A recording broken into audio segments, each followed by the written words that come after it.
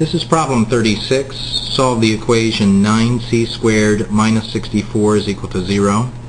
Now you can see we could certainly use the methods of chapter 5 here because we have a difference of two squares here. However, let's use the methods that we're learning in this chapter.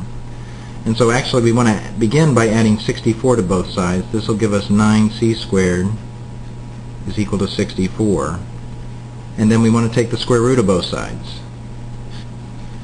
the square root of 9c squared, this will give us 3c is equal to plus or minus 8. And then the last thing that we would do is divide both sides by 3. So there are actually two solutions to this equation, positive or negative 8 thirds.